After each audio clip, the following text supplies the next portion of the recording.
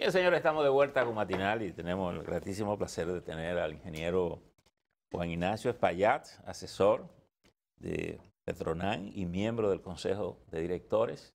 Juan, Que por demás teníamos un siglo que no lo veíamos. si, ha- si hay alguien en este país que toda pa- su vida la ha pasado ligado al sector del combustible, Del combustible. ha sido don Hay- Juan hay- Ignacio. Decía, decía Ignacio alguien en estos días que aquí se ha dado una combinación positiva, buena en medio de la pandemia. Los minerales han subido de precio, el petróleo ha bajado de precio y ha, bajado el consumo y las remesas han, han subido. ¿Cómo se está reflejando el tema de la pandemia en el negocio de los combustibles? Mire, eh, la pandemia ha afectado a todos los rincones de la sociedad. Eh, hay quienes, bueno, el propio gobierno dice que hay segmentos que han aumentado sus eh, ganancias. Pudiera ser aquellos que siempre han estado eh, sirviendo para las situaciones más dramáticas, como el de la salud, las farmacias. Ah, Dicen que los supermercados han crecido pero tal vez los supermercados lo que hicieron fue hacer un cambio de suministro desde las colmados, eh, que la gente humilde llegó a los supermercados por las tarjetas, porque los colmados no, no tenían la misma eh, infraestructura para recibir los pagos de, la- de los procesos de solidaridad que se están dando. Pero la gente sigue comiendo lo y- mismo. Y, el sector financiero le Y el sector financiero, que también ha tenido una situación, pero no creo, porque si la economía baja, el sector financiero también se ve restringido. No es verdad que, que el- un país de una economía creciente, eh, eh, dinámica, activa, va a tener la misma movilidad que puede tener eh, el sector financiero cuando estamos en una pandemia, que lo que vivimos es de subsidios. Tal vez, y sin el tal vez, eh, la economía tuvo algún tipo de manifestación producto de las ayudas eh, gigantes que el gobierno desarrolló. Ayu- ayudas que habría que estudiarla porque hay gentes que trabajan, tenemos casos nosotros, y que dicen no me reporten porque yo recibo ayuda. Entonces es una situación que el gobierno no tuvo eh, el, el- el ordenamiento adecuado para saber a quién debía llegar la ayuda, sino que se hizo de forma generalizada en muchos casos. Y de- realmente eh, mucha gente necesita ayuda, Han disminuido. pero, pero no todo el mundo. O sea, eso es un tema que, de- que debe ser estudiado y probablemente la economía tuvo una, un accionar en los bancos y en los supermercados mayor por la eh, aporte cuantioso que el gobierno ha estado haciendo y que mantiene ese proceso, dice, hasta diciembre.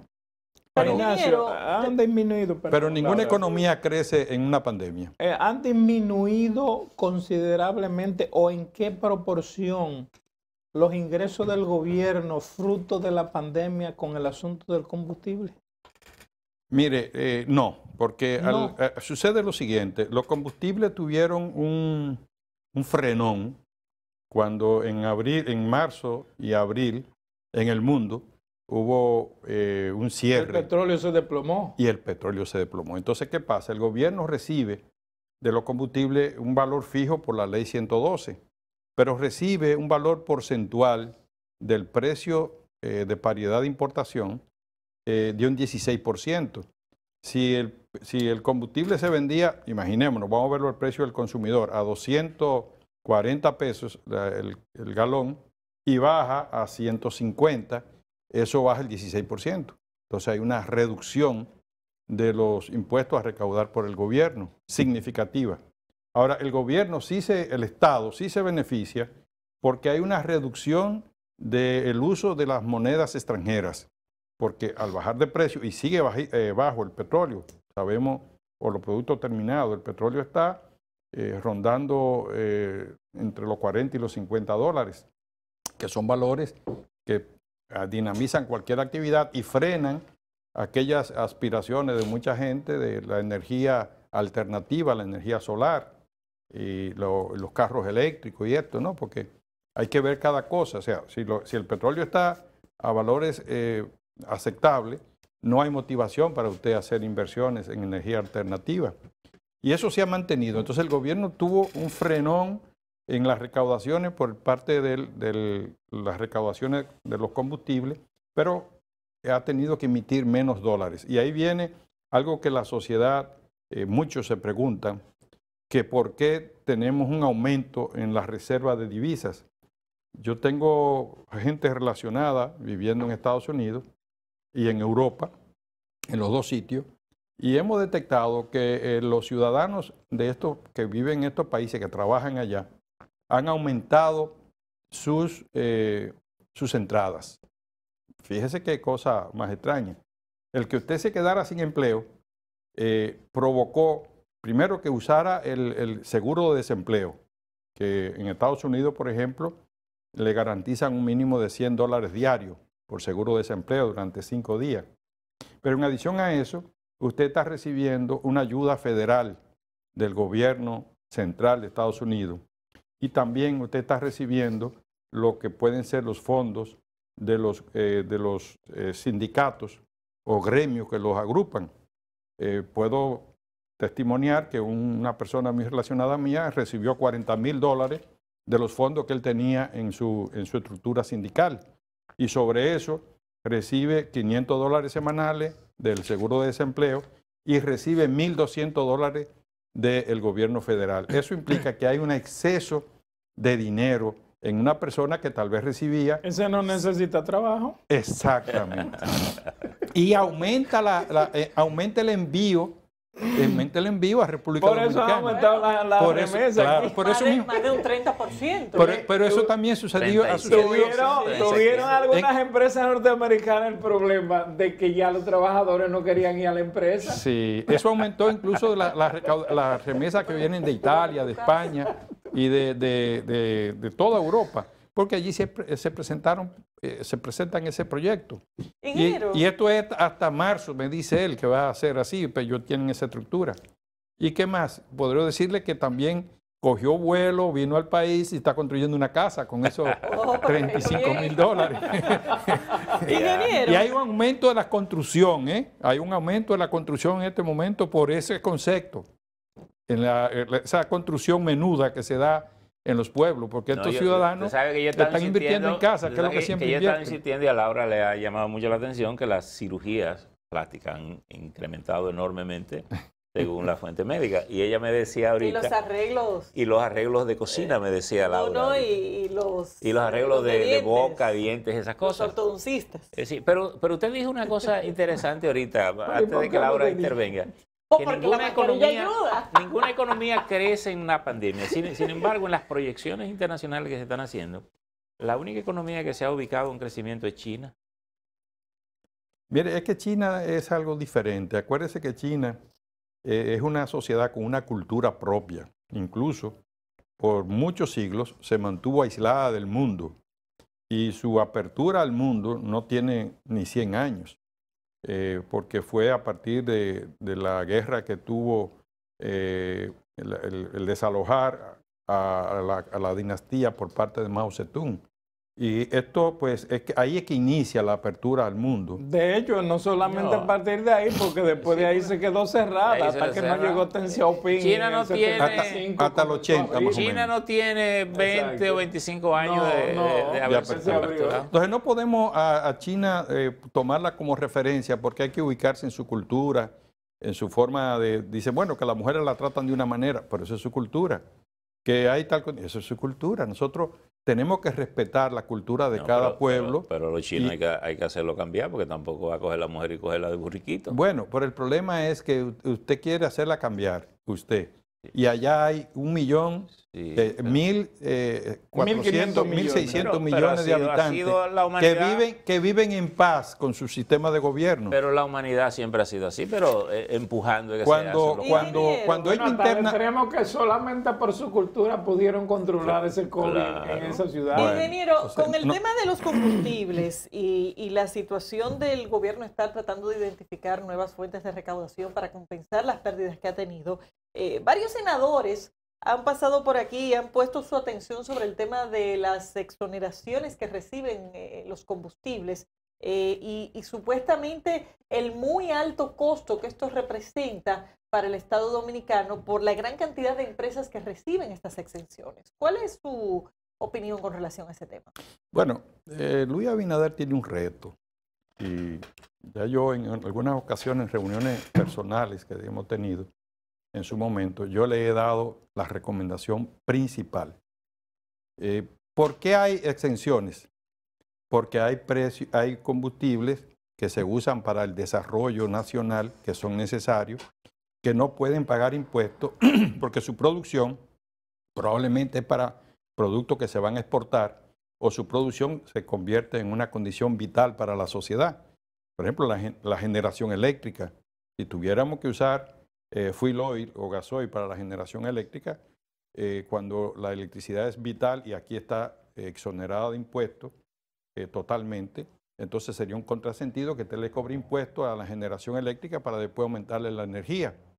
Si usted va a exportar para producir la, producción de divisas, que somos bastante eh, limitados en esa capacidad, entonces usted le está haciendo un daño porque no permite que compite con otras civilizaciones, otras economías. Y, por ejemplo, la agricultura, que debiera estar totalmente exonerada, sin impuestos. Entonces, ahí hay un producto que es el que yo le he señalado, que es el, el diésel, el gasoil. Yo entiendo que el gasoil en República Dominicana no debe tener impuestos. Y si no hay impuesto en el gasoil para toda la sociedad, porque eso alcanzaría al ebanista, al simple ebanista que produce muebles, alcanzaría al, comerciante que transporta la mercancía desde el campo y que la distribuye en las zonas pobladas. Entonces, eh, eso podría bajar los costos de toda la producción y crear las condiciones y los servicios también, porque cada vez que una compañía que hace servicio tiene que trasladar su personal, y mover las mercancías, tiene que aumentar su costo por el puesto que tienen los combustibles. Y además, ese producto que se llama gasoil es un producto que ha alimentado las mafias. Mafias enquistadas fuera del gobierno y dentro del gobierno. ¿Y qué subsidio le da el Estado realmente al tema del gasoil? ¿En qué proporción? No, primero, eh, hay, la ley establece eh, las leyes vigentes, no el gobierno, sino las leyes, que es el Congreso que lo emite. Eh, la condición de que el, gasoil que se usa para actividades productivas de la zona fronteriza está libre de impuestos. Está libre de impuestos el gasoil o el combustible que se usa para la generación, las zonas francas. Para la generación eléctrica. Eléctrica. Las zonas francas están libres de impuestos. Eh, está libre de impuestos muchos proyectos que tienen contrato con el Estado y en el Congreso fue aprobado la exoneración. Por ejemplo, el área minera en su generalidad tiene exoneración de impuestos. Pero ahí estriba la debilidad. ¿Ustedes han hecho algún Ahí estriba la debilidad de que muchos de estos combustibles libres de impuestos terminan saliéndose del objetivo para lo cual el Estado le dio la autorización y van al mercado a competir con el mercado ordinario. Entonces, un combustible que te entregan que tiene de exoneración 42, 48 pesos de, por galón, cuando sale al mercado le crea una riqueza brutal al actor porque lo vende en un mercado donde sí hay que pagar 42, ¿Ustedes han hecho algún estudio en República Dominicana o tienen algunos datos estadísticos sobre la cantidad de dominicanos y dominicanas, tanto del sector industrial, fabricante, como personas en particulares, que tienen la necesidad de usar combustible porque tienen plantas eléctricas? Tenemos algunas referencias porque en su momento, en nosotros, desde el año 98 y 2003, 2008... Porque son muchos. Eh, sí, seguimos ese, ese estudio basado a dos renglones, el combustible que se vende en las estaciones de servicio, ¿verdad? Versus el combustible que se entrega exonerado, que es el que va a las grandes industrias, porque hay un problema. Usted tiene una gran industria que produce muebles, usted tiene la oportunidad, si genera una cantidad de energía, tanto megavatios, que se le entregue combustible exonerado. Pero vuelvo y repito, al ebanista que tiene un tallercito, se, lo, clavan con, con los cuarenta y pico de pesos de impuestos. Entonces, es injusto porque ese banista no va a poder le pregunto el asunto de, la, de los generadores. Finalmente, Porque al que, al, que, al que tiene su planta de 10, 15, 20 kilos en una casa, a ese ese país. Pero ese total de consumo, ¿qué proporción va a grandes industrias y qué proporción va más eh, al consumo de MIPIMES? Cerrando las informaciones. Eh, hubo un momento de mucha demanda por, la, por, la, por los apagones, porque hay que ver qué etapa es. Eh, por los apagones llegamos a tener consumo para la generación fuera de las grandes industrias alrededor de un 14% del consumo de diésel. Y este ha bajado en los últimos tiempos apenas un 4%. Okay. Entonces, eh, eso implica que hay una reducción brutal de ese consumo porque... Que podríamos llamarle consumo doméstico. Eh, consumo de generación y uso particular por tema de electricidad, porque hay que verlo de esa manera. pero, por ejemplo, hay un consumo que yo quiero poner aquí sobre el tapete, que recientemente el presidente, el gobierno nuevo habló de él, eh, son, por ejemplo, los invernaderos. Los invernaderos, en su generalidad, por la condición que están en zona agrícola, no llega energía eléctrica y necesitan electricidad para hacer el control climático del invernadero. Y, por ejemplo, en Rancho Arriba, eh, leí recientemente, hay 350 plantas. En Ocoa. Sí, 350 plantas para poder mantener esos invernaderos. El producto que sale de esos invernaderos ya están penalizados con un diésel con un 42 pesos en este momento de impuestos, cosa que no debiera ser. Por eso yo digo que la primera acción para resolver este problema es dos cosas. Bajarle, quitarle los impuestos o bajárselo a un mínimo, bajárselo a un mínimo, y revisar la cadena de distribución. Porque resulta que la cadena de distribución tiene unos márgenes que permiten, que permiten que mayoristas del mercado estén ofreciendo valores que andan entre 20, 30, 20, 25, 30 pesos por galón menos. Entonces vamos a bajarle ese precio para que el pequeño productor pueda recibir ese combustible igual, con 30 pesos menos. Y entonces hacer de su producción algo productivo. Pero Caspita, Caspita, justamente se está discutiendo aumentarle el margen.